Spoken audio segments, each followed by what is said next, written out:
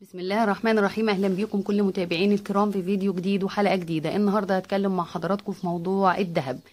الذهب شاغل بال الناس كلها والنهاردة هنشوف إيه التصريحات الجديدة. والنهاردة مش بنتكلم عن توقعات بتكلم عن تصريحات لمجلة من أكبر مجلات العالمية. لما تتكلم لازم حضرتك تسمع لكلامها ولازم تحط تحته ألف خط. فلازم تعرف إيه النهارده اللي قالته مجلة رويترز عن موضوع الذهب. اتكلمت في إيه وهل ده بيستند لواقع ولا تخمينات. بس لازم تكون عارف إنه مجلة رويترز مش بتقول توقعات وتخمينات. دايما بيكون عندهم تق... يعني تصريح أو تصريحات أو بتكون واخدة تصريحاتها من صانعي القرار. امبارح شفنا الذهب انخفض حوالي 20 دولار للأوقية وعلى فكرة ده رقم مرعب جدا جدا. وده كان الأكتر من سبب. السبب الأول هو معدلات البيع اللي كانت كبيرة جدا امبارح وأول بسبب تخوفات الناس من قرارات الفدرالي الأمريكي. ففي ناس كتيرة جدا قالت لك أخلص من الذهب وأبيعه بسرعة. بعد كده كمان في عندنا حاجة تانية وسبب تاني وهو تطورات الحرب الروسية الأوكرانية. وفي حاجة اسمها السد الأوكراني وشوية لخبطة كده موجودة ما بين روسيا وأوكرانيا. يعني اضطرت أوكرانيا لأن هي تبيع جزء كبير جدا من الاحتياطي بتاعها من الذهب. الحاجة الثالثة اللي عندنا والسبب الثالث هو رفع الفيدرالي الأوكراني لأسعار الفايدة. هتقولي بس ده ما يأثرش قوي على أسعار الذهب عالميا.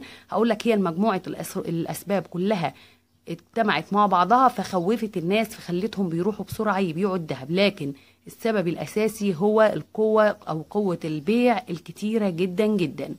طيب عندنا إحنا هنا بقى ما شاء الله ما كانش فيه انخفاض يذكر. شفنا 20% 20 دولار للأوقية انخفاض وشفنا عندنا هنا إحنا في مصر بالليل وقبل ما الذهب يقفل شفنا انخفاض حوالي 15 أو 20 جنيه. تاني يوم الصبح مع بداية التعاملات بنلاقي ال 15 جنيه وال 20 جنيه بيتحطوا فوقيهم كمان جزء تاني. ده دليل يقول لحضرتك انه الذهب معانا مش ماشي هنا في مصر مش ماشي مع عالميا. وفي نهاية الحلقة هقول لحضرتك هنا في مصر الوضع إيه.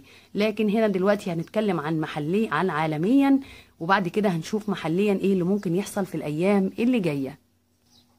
امبارح كان في بيان مهم جدا جدا من رويترز لما تقول لحضرتك زي ما قلنا قبل كده خبر لازم تقف عنده كتير جدا لأنه المجلة دي بصراحة ما عندهاش أي سقطات يعني بمعنى إنه هي قبل كده ما قالتش أخبار وكانت أخبار fake أو أخبار مش حقيقية. قالت إنه من المتوقع رقم واحد ارتفاع مؤشر الدولار في تعاملات نهاية الأسبوع مع تلاشي فرص رفع أسعار الفايدة من الفيدرالي الأمريكي وبناء على المعطيات دي. فمتوقع أن يترك الاحتياطي الفيدرالي أسعار الفايدة دون الرفع أو التغيير في الاجتماع المقبل.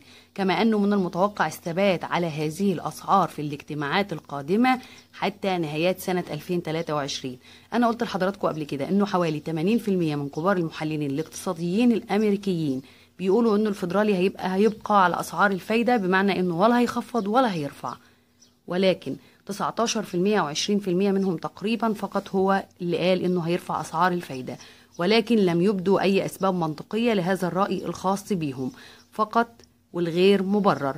وعلى فكرة لازم تكون عارف إنه في الآخر كل كلام المؤسسات العالمية بيكون توقعات بحسب الشواهد أو معطيات المعادلة. لكن الموضوع النهاردة مختلف تماما. إحنا بنتكلم في تصريح من رويترز. تصريح من رويترز يعني لازم تاخده في عين الاعتبار ولازم تكون عارف إنه آخد الاعتذار التصريح بتاعه دوت من صانعي القرار. ممكن يكون بعض المسؤولين من الفدرالي الأمريكي ممكن يكون تصريح من بعض المحللين اللي ليهم إيد في موضوع تثبيت أو خفض أسعار الفايدة النتيجة هنا إنه في الأيام اللي جاية هيكون عندنا تثبيت أسعار الفايدة بتصريح من مجلة رويترز. يبقى إحنا هنا عالميا متوقعين إنه هيكون في تثبيت لأسعار الفايدة من قبل الفيدرالي واللي بعدها هنشوف ارتفاع في أسعار الذهب عالميا بصورة غير مسبوقة.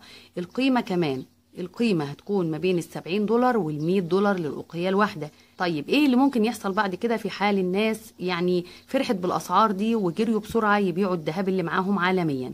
في حال لو كان في قوة بيع كبيرة يعني على مدار الساعة معدلات البيع كانت أكتر من معدلات الشراء لا ساعتها ممكن نشوف تراجع تاني في أسعار الذهب حوالي 20 دولار في الأوقية من السبعين أو المية اللي هو ارتفاعهم قبل كده. يعني في الآخر أو النهاية أو المجمل هيكون برضو ارتفاع. وده كده بالنسبة لعالميا. بالنسبة لمحليا بقى الموضوع مختلف تماما تماما. هنا معتمد جدا جدا الأسعار فيها على تذبذب كبير جدا. إحنا شايفين تذبذب كبير جدا في الأسعار وهيكمل معانا شوية لحد اجتماع البنك المركزي أو لجنة السياسات في البنك المركزي المصري وكمان لحد اجتماع الفدرالي الأمريكي. عندنا اجتماع اليوم 22 6 لجنه السياسات في البنك المركزي. ممكن إنه في الفترة دي هتقول لي البنك المركزي أو عندنا ده ما بيأثرش في موضوع الذهب. هقول لحضرتك الاجتماع المرة دي هيكون مختلف تماما ولازم هنشوف تأثر في أسعار الذهب. ليه؟ في حال وجود تعويم أو في حال رفع أسعار الفايدة.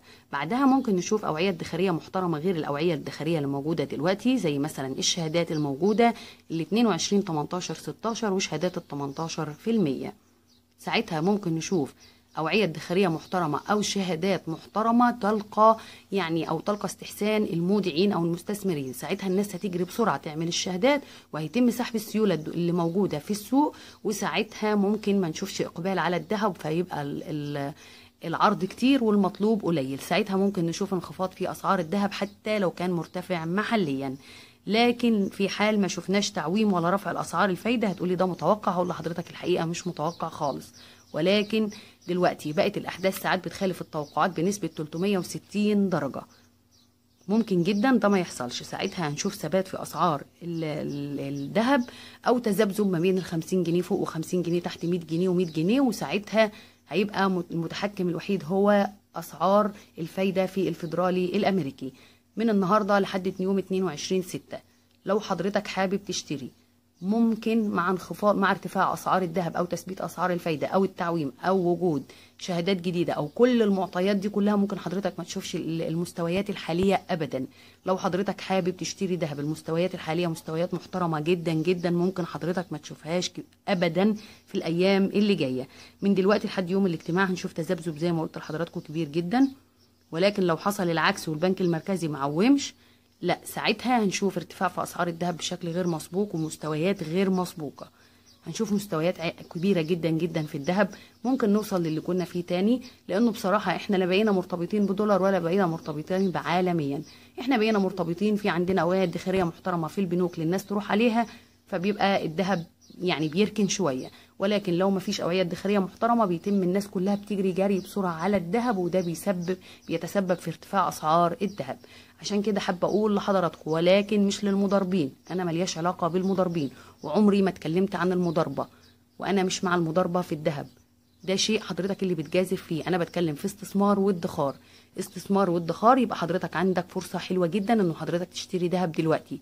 مش هتكلم في موضوع البيع تاني اتكلمنا كتير جدا في موضوع البيع وقلت لحضراتكم حابب تخسر فلوسك والقوة الشرائية لفلوسك روح بسرعة بدلها لورق.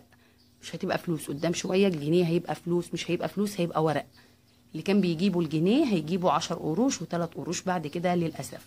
ولازم تكون عارف إنه لو تم تعويم في الشهر الحالي هيكون في عندنا تعويمة تانية في شهر 12 بحسب متطلبات صندوق النقد الدولي واتكلمت مع حضراتكم كتير جدا في الموضوع ده. عشان كده أنا كلامي دلوقتي عن الشراء. المستويات الحالية محترمة جدا جدا ولكن هتشتري حضرتك بثلاث شروط. الشرط الأول إنه حضرتك هتجيب الذهب وهتركنه تماما لمدة سنة وهتنساه خالص هتحطه في خزنة آمنة إما عند حضرتك في البيت وإما هتأجر خزنة في البنك لو كمية كبيرة وهتنسى الذهب تماما ومش هتتابعني ومش هتتابع غيره ومش هتتعب أعصابك بالذهب ومستوياته وارتفع وانخفض. السنة اللي جاية إن شاء الله نقدر نتكلم ونقول لحضرتك هتبيع ولا هتشتري. الحاجة التانية حضرتك هتشتري على متوسطات أسعار قاعدة متوسطات الأسعار. بمعنى سي مثلا أنا معايا 300 ألف جنيه دايما بضرب لحضراتكم المثال ده. باخد ال 300 ألف جنيه مرة واحدة وأروح الصاغة لا خالص. بشتري على متوسطات أسعار. بشوف الذهب مثلا 2300 بروح أشتري ب 100 ألف جنيه رجع نزل 70 جنيه أو 80 جنيه. بروح أشتري بالمية التانية وبعد كده بروح أشتري بالمية التالتة. قاعدة متوسطات الأسعار بتحقق مع حضرتك مكسب حلو جدا. الحاجة التالتة لازم ترجع حضرتك للحلقة دي لأنه مش أي سبيكة ومش أي جنيه دهب بشتريه وأنا مش بشتري شبكة هروح أشتري كوليه وأنسيال والحاجات دي كلها. قلت لحضراتكم الكلام ده كتير جدا جدا قبل كده ولازم تكون عارف إنه الذهب في الأيام اللي جاية هيحقق مستويات غير مسبوقة. في حال لو كل ده ما حصلش عندنا ارتفاع غير عادي في مصر في أسعار الذهب سواء محليا أو عالميا في الفترة القادمة. نهايات 2023 وبدايات 2024 بحب أطلع دايما حضراتكم على كل المستجدات.